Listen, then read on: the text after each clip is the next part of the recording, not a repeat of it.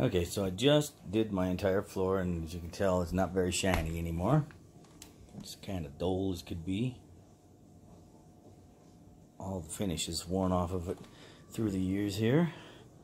And every once in a while I shine her up with this stuff. Let me grab it.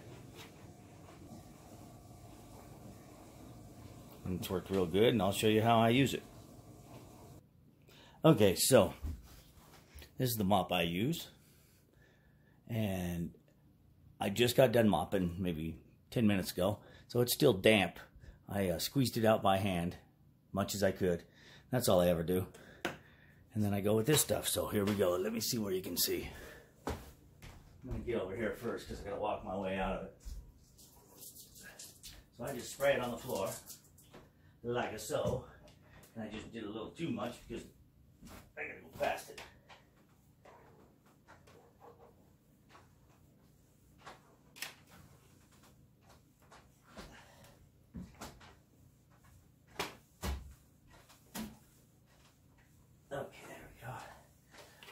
See this? So I just sprayed it on the floor, and then you just spread it. It's that easy. But try to get close to your stuff because wherever it don't hit will not be shiny at all. But where you do hit, it'll stay about as shiny as it looks right now.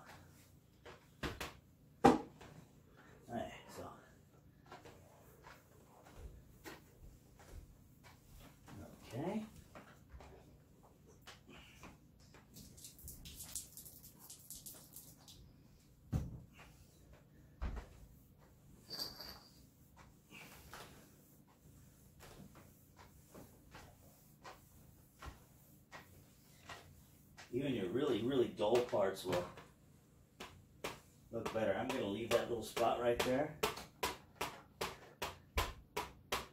So you guys can see it after it dries. The sun's banging on stuff in the background here. But that's how easy it is, and I'm going to pause it. So you probably can't see over here anyway.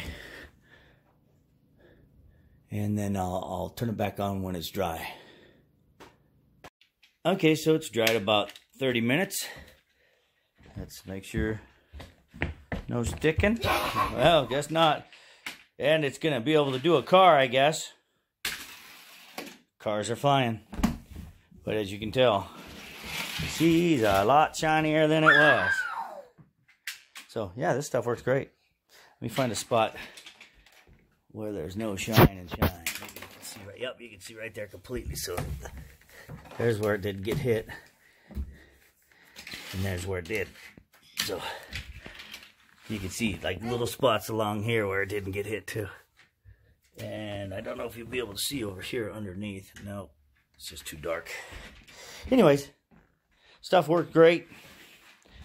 Shiny as can be now. And it actually lasts a good couple weeks usually.